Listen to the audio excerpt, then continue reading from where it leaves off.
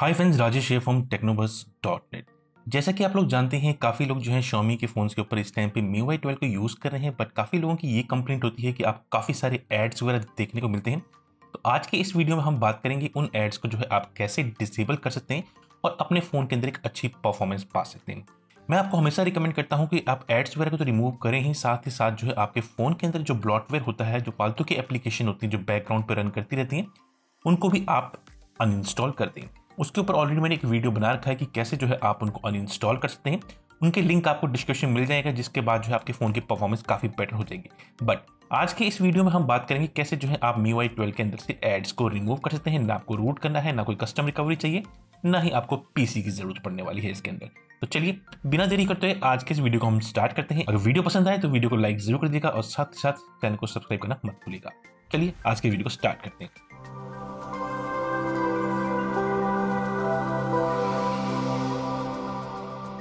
तो आपको जो है मी वाई ट्वेल्व में से एड्स रिमूव करने के लिए सबसे पहले जो है आप अपने सेटिंग्स की एप्लीकेशन को ओपन करेंगे। वहाँ पे आपको पासवर्ड एंड सिक्योरिटी के अंदर जाना है। पासवर्ड एंड सिक्योरिटी में आप जाएँगे तो आपको यहाँ पे कुछ ऑप्शन यहाँ पे देखने को मिलते हैं।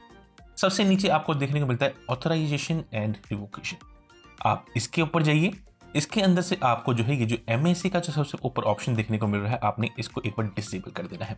आपको ये रिवोकिंग ऑथराइजेशन की परमिशन पूछेगा। थोड़ी देर वेट करिए फाइव टू सिक्स सेकेंड और उसके बाद जो है आप इसको रिवोक कर देंगे। तो ये एक तरीके से आप जो है इसमें से एड्स को डिसेबल कर रहे हैं। तो ये देखिए, इसको हमने यहाँ से डिसेबल कर दिया। उसके बाद सबसे नीचे जो है आप जो है गेट एप्स इसको भी यहाँ से आप डिसेबल कर देंगे। इसकी भी आपको परमिशन देनी पड़ेगी। सेवन टू एट सेकेंड्स आपको वेट करना पड़ेगा। यहाँ से आपने पासवर्ड एंड सिक्योरिटी से आपने इन दोनों ही एम और गेट एप्स को डिसेबल कर देना है। तो यहाँ से तो आपने इनको डिसेबल कर दिया। सेकंड काम आपने ये करना है पासवर्ड एंड सिक्योरिटी में आपको एक प्रिवेसी का ऑप्शन देखने को मिलता है। आप इसके अंदर जाएँगे, इसके अंदर जो है आपको यहाँ पे एक एड सर्विसेज़ का ऑप्शन देखने को मिलता है सेकंड लास्ट आप एड सर्विसेज़ में जाइए। एड सर्विसेज़ में जो ऑप्शन है पर्सनलाइज एड रिकमेंडेशन आप इसको भी डिसेबल कर देंगे। ये जो है आपको काफ़ी सारे एड्स वगैरह जो देखने को मिलते हैं, उनको ब्लॉक कर देगा। तो आपने सेकेंड मेथड ये यूज़ करना है कि सेकंड प्राइवेसी एंड सिक्योरिटी में जाके प्रीवीसी में एड सर्विसेज़ को जाके डिसेबल कर देना है आपने। तो ये भी आपने इसके अंदर कर लेना है म्यू के सभी फोन्स के अंदर जो भी आप यूज़ कर रहे हैं। थर्ड स्टेप जिसकी हम बात करने वाले हैं वो है फ़ाइल मैनेजर के अंदर। अगर आपने फ़ाइल मैनेजर में जाते हैं तो फ़ाइल मैनेजर में भी आपको जो है कुछ एड्स वगैरह कभी कभार यहाँ पे आपको देखने को मिलते हैं। तो ये जो मेनू का बटन है, आप इसके ऊपर जाएँगे यहाँ पे।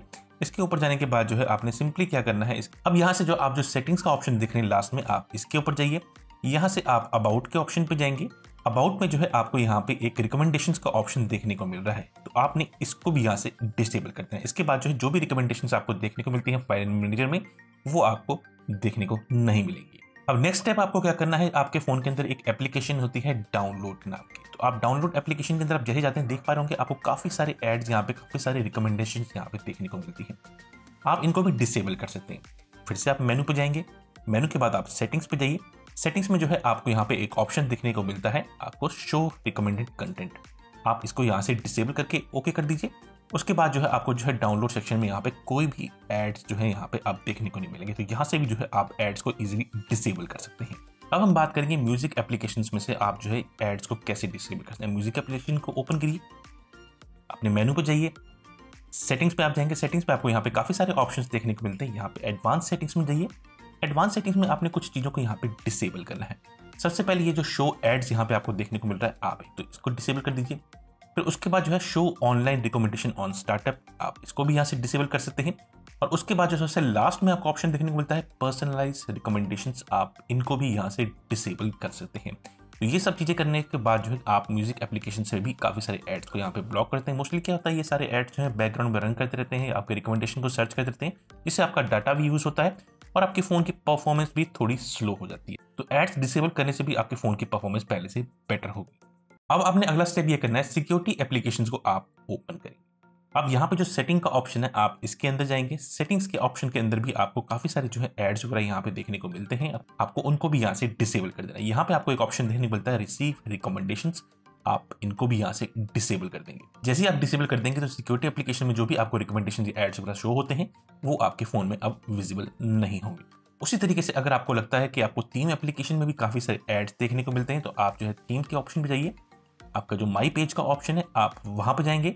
वहाँ पे आपको जो है सेटिंग्स के ऑप्शन पे यहाँ पे जाना है।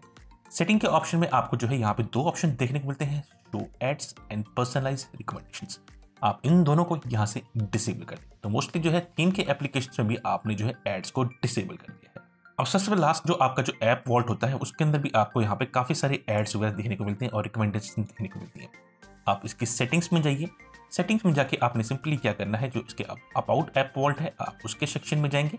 वहाँ पे जो है आपको काफ़ी सारी यहाँ पे चीज़ें देखने को मिलती हैं, जैसे पर्सनलाइजेशन सर्विसेज़ आप इसको यहाँ से डिसेबल कर सकते हैं तो इसको भी आप यहाँ से डिसेबल कर दीजिए। उसके बाद अगर आपको लगता है आपके रिकमेंडेड के अंदर जो है आपको एप्स की जो सजेशन वगैरह शो होती हैं, वो आपको नहीं चाहिए तो आप उसको भी यहाँ से डिसेबल कर सकते हैं। तो इस तरीके से जो है आप मी वाई ट्वेल्व के अंदर से काफ़ी सारे एड्स को ब्लॉक कर सकते हैं। अगर आपको लगता है किसी और एप्लीकेशन में भी जो है आपको एड्स देखने को मिल रहे हैं तो आप उसकी सेटिंग्स में जाके जो उसके रिसीव रिकमेंडेशन होते हैं, उनको वहाँ से डिसेबल कर सकते हैं। तो इस तरीके से जो है आप अपने मी वाई ट्वेल्व के फ़ोन के अंदर से बिना रूट किए हुए काफ़ी सारे एड्स को रिमूव कर सकते जो कि काफ़ी बार आपको जो है स्पैम नोटिफिकेशन मिलते हैं कि ये एप्लीकेशन डाउनलोड कर लीजिए, ये वॉलपेपर तो वो सब जो है अब आपके फ़ोन के ऊपर ब्लॉक हो जाएँगे। इसको करने के बाद जो है मैं आपको रिकमेंड ज़रूर करूँगा कि जितना भी ब्लॉटवेयर आपके फ़ोन के अंदर देखने को मिलता है, जो कि बैकग्राउंड में रन होता रहता है, उन सबको भी आप रिमूव कर सकते हैं। उसके ऊपर भी मैंने वीडियोस बना रखे हैं लिंक आपको डिस्क्रिप्शन में उनका मिल जाएगा। तो उम्मीद करता हूँ आपको आज का ये वीडियो पसंद आया होगा। तो प्लीज़ चैनल को सपोर्ट ज़रूर कीजिएगा, साथ ही साथ वीडियो को लाइक कमेंट और शेयर करना मत भूलिएगा। तो मिलते हैं नेक्स्ट वीडियो में, तब तक के लिए टेक केयर एंड बाय